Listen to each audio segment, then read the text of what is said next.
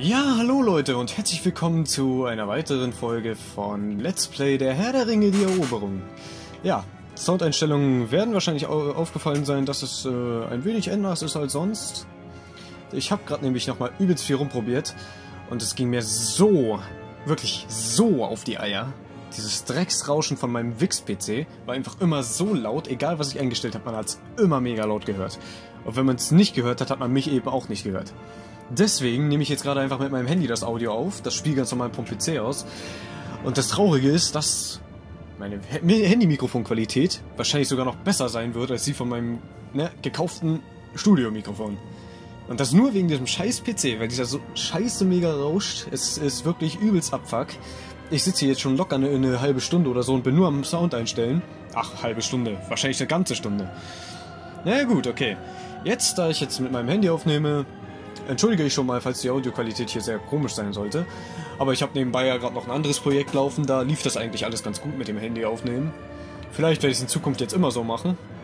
Dann habe ich zwar viel zu schneiden, aber solange dann das scheiß Rauschen nicht mehr mir auf die Eier geht, ist, ist mir das allemal wert. Gut, bevor ich jetzt hier weiter noch eine Stunde lang mich über mein Rauschen aufrege, würde ich sagen, starten wir einfach mal mit Osgiliath.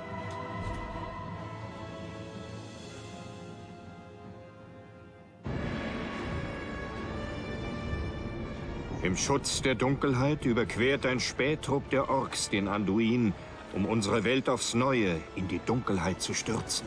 Der Angriff der Orks beginnt um Mitternacht. Wie ein Dolch stoßen sie in das Herz von Osgiliath vor. Den tödlichsten aller Angriffe soll eine Elitehorde führen, die am anderen Ufer lauert. Mit ihren Belagerungswerken werden sie Feuer auf die verhassten Waldläufer niederregnen lassen.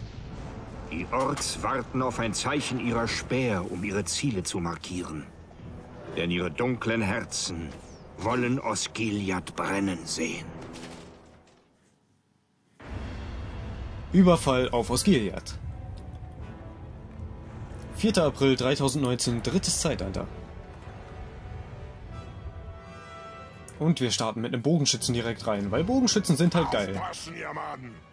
Bringt sie um und zündet das Leuchtfeuer an. Heute Nacht wird Osgiliath brennen. Lauf mit der Fackel zum nördlichen Ende der Ruinen. Mach schon. Immer mit der Ruhe. Wir killen ja erst noch ein paar Gondorianer, bevor wir das machen. Aua. Saurons Mund und unsere Hauptleute warten auf das Signal. Bringt eine Fackel zum Sammelpunkt. Mach schon, ihr Hunde. Bewegung. Bisschen Geduld. Äh, was macht der denn da?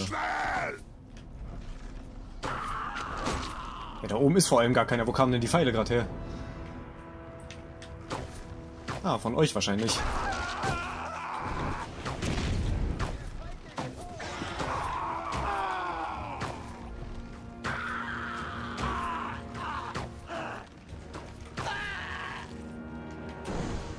Erstmal wieder reinkommen. Das letzte Mal ist jetzt schon wieder eine ganze Weile her. Heilung, ihr Maten! Legen wir ein Feuerchen im Norden! Erstmal muss ich hier Heilung einsammeln, dann können wir weiterreden.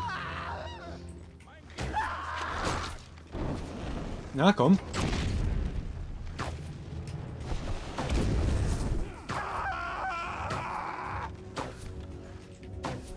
Das ist meiner, lass den in Ruhe. So.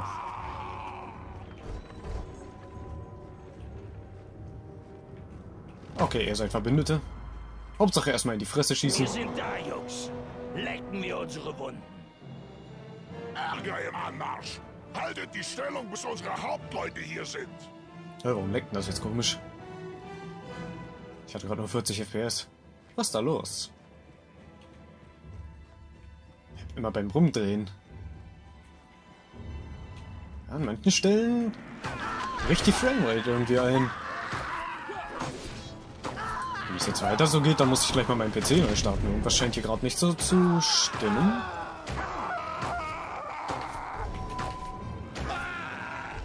Da kommt ein Nazgul! Haltet euch vor ihm fern!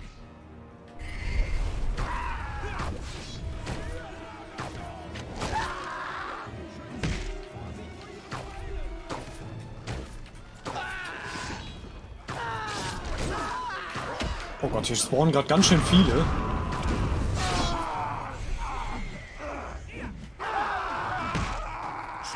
Aus der Basilika. Haltet sie von hier fern. Unsere Jungs müssen sich hier sammeln.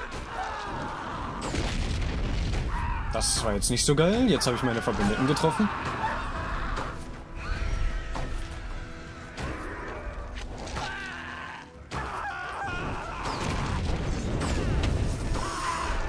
Ja, schön draufgehen. Oh, ein Zauberer. Hey, bleibst du wohl stehen? Bleib stehen, sagte ich. Was war das denn?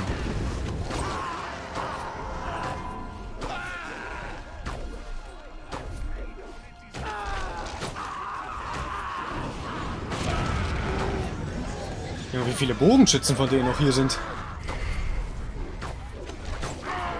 Halte diese Störenfriede auf. Unsere Hauptleute kommen. Alter, dieser Wichszauberer mal mit seinem Scheißschild. Sie von unserem Sammelpunkt fern. Hau doch ab.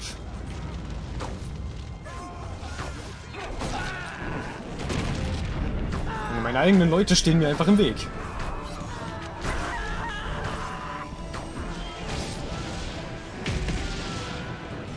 Haut alle ab.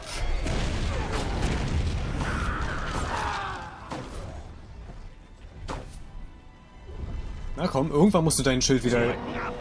Wir haben es geschafft! Unsere Pioniere haben einen Rambock. Als los stürmen wir die Festung. Ja, wir möchten natürlich als Held spielen. Saurons Mund. Passt ja, weil ich mich eben über Zauberer beschwert habe.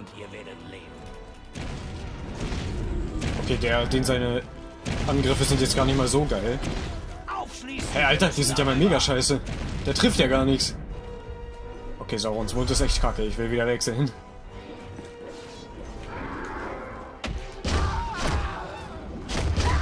Und seine mittlere Attacke ist auch gar nicht so geil. Der Held ist im Allgemeinen irgendwie gar nicht so cool. Ich glaube, jetzt dürfte es auch jeder verstanden haben. Jeder letzter Dödel.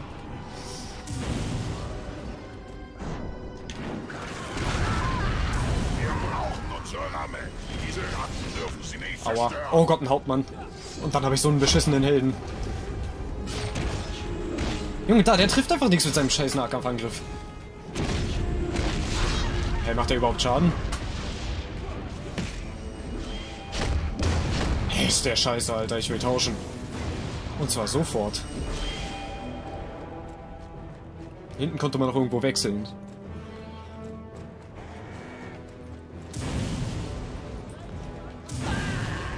Ich hoffe, das Audio von meinem Handy ist verwendbar. Das wäre auf jeden Fall sehr schön und sehr praktisch. Ja, und ansonsten müsste ich hier alles nochmal neu aufnehmen und da habe ich ehrlich gesagt keine Lust drauf. Aua. Oh Gott. Ja, ja, so kann man es natürlich auch machen, ne? So, respawnen einmal. Wo ist der Hauptmann?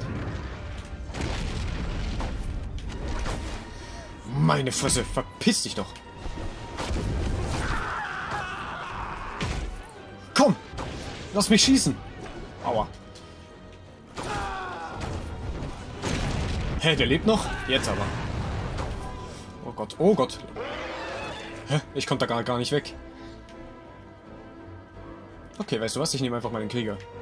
Äh, ich sag der Krieger. Jetzt.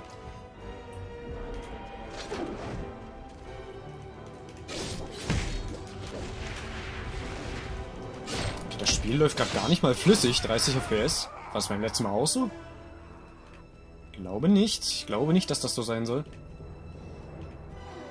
Ich glaube, ich werde gleich mal den PC neu starten. Da vorne! Da sammeln wir uns, ihr Maden! Vorwärts bewegt euch, ihr Mordorwagen.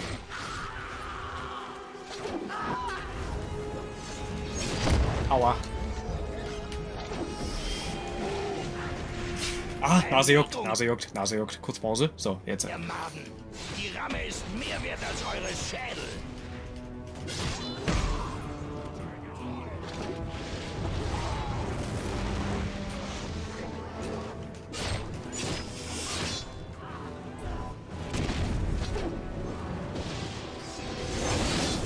Aua.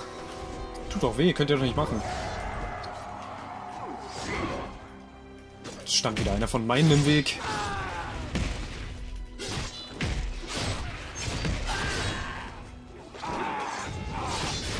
Aua. Oh, kacke, ich darf ja nur noch zweimal sterben. Gut, das habe ich jetzt nicht so ganz bedacht. Darum leckt das Spiel manchmal so. Hallo? Äh. Okay. Da muss ich aber los.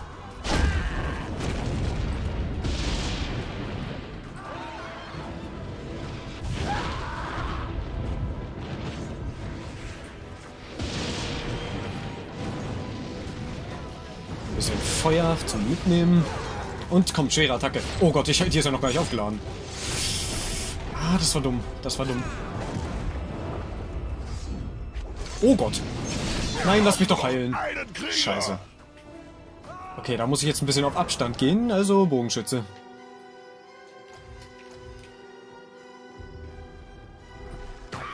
Junge, spawnt der immer bei uns? Ist das irgendwie ein falscher Spawn oder so? Verdammt.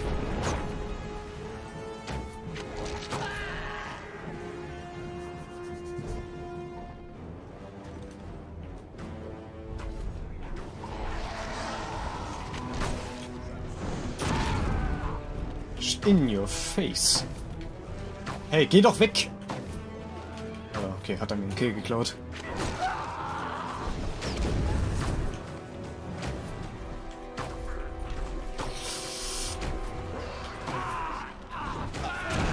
Also, Controller ist ja eigentlich gar nicht so schlecht, aber beim Zielen ist er echt nicht so vorteilhaft.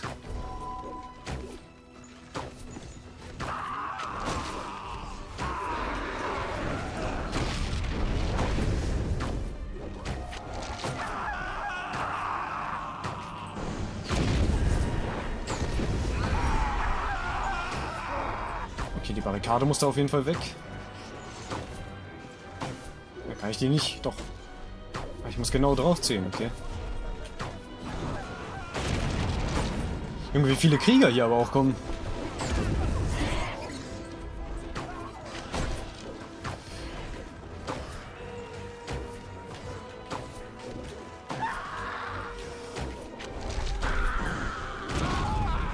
So, jetzt. Ach, da kommen schon wieder die nächsten. Junge, benutzt doch einfach mal das Ding. Oh Gott, Krieger, Krieger, Krieger.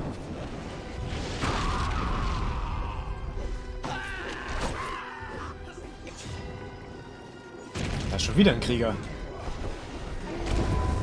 Bewegt euch, ihr Hunde. Das Tor ist nach vorne.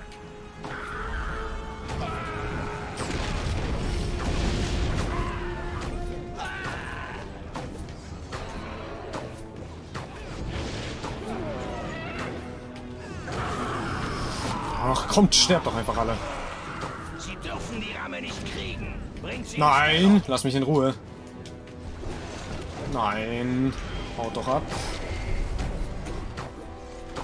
Ihr seid alle viel zu aufdringlich, geht einfach.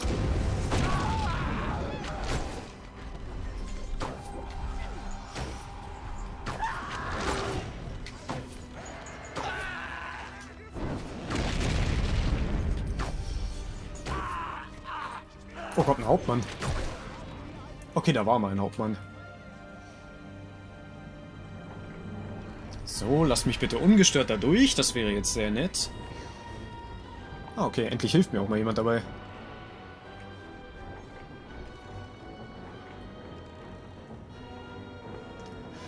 Ja, ich werde nach der Aufnahme hier jetzt erstmal gucken, wie das mit dem Audio aussieht. Und wenn es gut ist, dann mache ich jetzt vielleicht eine kleine Ausna Aufnahmesession von und nehme noch ein paar mehr Parts auf mit dem Handy. Das ist eigentlich echt traurig, ne? Darfst echt eigentlich keinem erzählen, dass man mit dem Handy bessere Aufnahmequalität erreicht als mit einem Standmikrofon, was man sich extra für 50 Euro gekauft hat. Das ist schon leicht traurig. Das ist eigentlich schon mehr als leicht traurig, das ist schon richtig traurig. Eigentlich könnte ich ja, wenn ich das Audio jetzt sowieso mit dem Handy aufnehme, könnte ich eigentlich auch mit GeForce aufnehmen. Da wäre immerhin die Bildqualität auch noch ein bisschen besser. Aber ich habe da so meine Befürchtungen, weil als ich es das letzte Mal in letzter Zeit immer probiert hatte, mit GeForce irgendwas aufzunehmen. Wir werden immer weniger. Herr Faramir. Ah, Sekunde. Mächtiger Prinz von Gondor. Gerade recht für unseren Schmortopf. Spieß ihn auf, dann können wir fürstlich speisen. Ja, genau.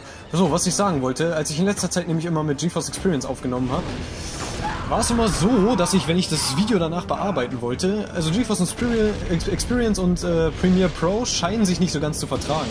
Also manchmal ja, aber manchmal auch nicht. Und GeForce macht ja generell öfters mal so Probleme, dass es einfach nicht mehr aufnimmt oder so.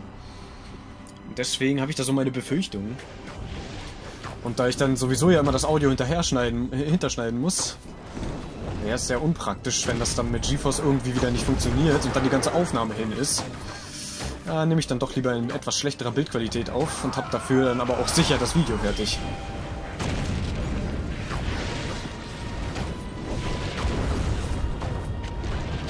Ist meine Meinung dazu. Man kann es natürlich sehen, wie man will. Aber ich gehe da dann doch lieber auf Nummer sicher und bleib erstmal bei OBS.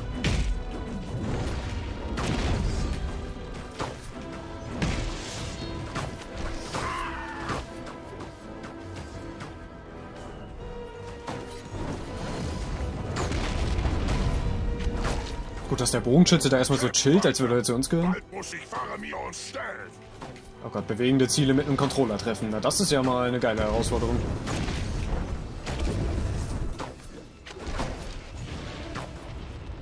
Es sind zu viele!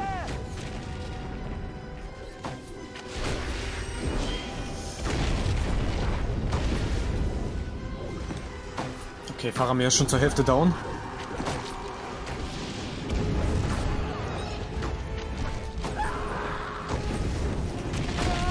Was war's mit Faramir?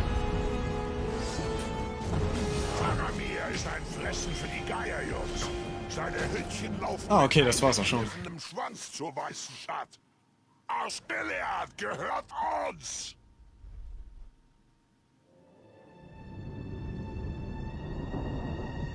Der dunkle Herrscher muss zufrieden sein, dass die Stadt noch einmal unter den Stiefeln der Orks erzittert. Weder Faramir noch seine Männer werden verschont, doch die Menschen wussten um ihr Schicksal. Und so stoßen Saurons Heerscharen aufs Neue unbehelligt zum Herzen Gondors vor. In den Lagern Mordors zieht der dunkle Herrscher frische Legionen zusammen, um all jene, die es wagen, ihm zu trotzen, für alle Zeiten zu vernichten. Okay, dann geht's beim nächsten Mal wieder weiter mit Minas Tirith. Allerdings nicht jetzt. Denn jetzt, wie gesagt, werde ich erstmal schauen, ob das mit der Aufnahme alles so hingehauen hat. Deswegen bedanke ich mich an der Stelle fürs Zusehen und würde mal sagen, sehen wir uns bei der nächsten Folge wieder. Haut rein und ciao!